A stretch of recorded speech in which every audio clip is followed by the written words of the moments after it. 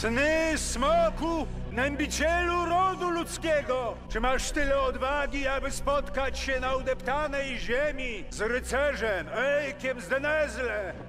Jest godzina 5 rano, a wysłuchacie audycji Poranny Gniot dla widzów na kanale Szef Sztabu. Kto rano wstaje, temu szef sztabu nadaje. Epilog Kroniki S 2019. Dzisiejszą audycję zacznę od epilogu do Kroniki S 2019, którą z wielkim trudem udało mi się zakończyć i wprowadzić w rok 2020. Było to niezwykle ciężkie, dlatego bo po pierwsze musiałem opanować zupełnie inne metody szukania informacji.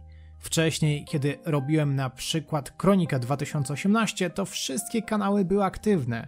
Od ręki dostępne były oryginalne nagrania wraz z datą, kontekstem i uzupełniającymi widzowskimi komentarzami, dzięki czemu miałem pewność, co i kiedy się działo oraz dlaczego. Obecnie robiąc sezon specjalny roku 2019 wielokrotnie było tak, że miałem nawet niecałe nagranie, a jedynie jego kawałek i mniej więcej określić mogłem z którego to jest etapu wydarzeń, ale nie wiedziałem z jakiego dnia, a często błąd nawet takiego pojedynczego dnia zmieniał kontekst wydarzeń i wypaczał totalnie historię, czego starałem się bardzo uniknąć.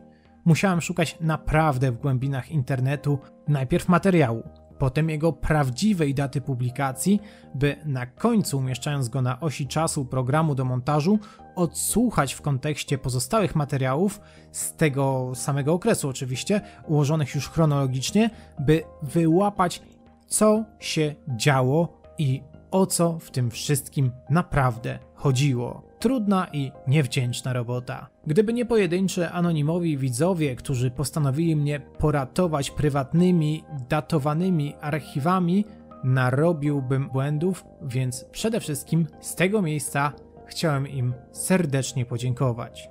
Te osoby wiedzą, kogo chodzi. Chciałem również podziękować Pawłowi z Warszawy za podzielenie się swoimi wspomnieniami z tego okresu, dzięki którym szeroka widownia mogła poznać kulisy wielu wydarzeń, których nie uwieczniła kamera. Co zamierzam dalej?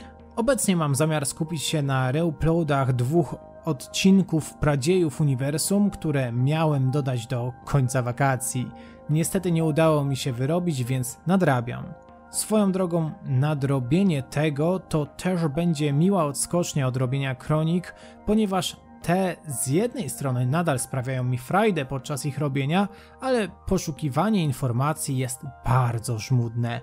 Tak jak już o tym wcześniej wspomniałem, i potrzebuję trochę odskoczni od przegrzebywania internetu. Nie mogę się tym zbyt często zajmować, bo to pochłania dosłownie dowolne ilości czasu, bo zawsze da się jeszcze trochę informacji skądś wziąć, wyciągnąć, gdzieś sprawdzić, do kogoś zadzwonić itd., tak itd., tak a doba ma tylko 24 godziny.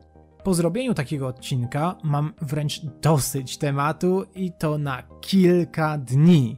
Teraz jeszcze miałem taką fantazję, by utrzymać dotychczasowe tempo robienia filmów 4 sztuki na miesiąc i o ile wcześniej mi to jakoś szło, to chwilowo dłużej tak po prostu nie mogę, bo się po prostu wypalę i przestanę w ogóle cokolwiek nagrywać. Dlatego obecny plan jest taki, że będę wypuszczał mniej więcej dwie kroniki w ciągu miesiąca plus jeden odcinek z tematem wybranym przez widzów. Będę pytał Was, o czym chcielibyście, żebym nagrał, i temat, który będzie miał najwięcej lajków, biorę na warsztat. Bo też zauważyłem, że kanał, który ma tylko i wyłącznie kroniki, jest i dla mnie zbyt monotematyczny i chyba dla Was też jest zbyt monotematyczny. Tak więc, skoro słowo się rzekło, bardzo proszę, wpisujcie w komentarzach, o czym chcielibyście kolejny odcinek. Komentarz z największą ilością lajków wygrywa. To już wszystko na dziś. Dziękuję za wytrwanie do końca i pozdrawiam. Szef sztabu.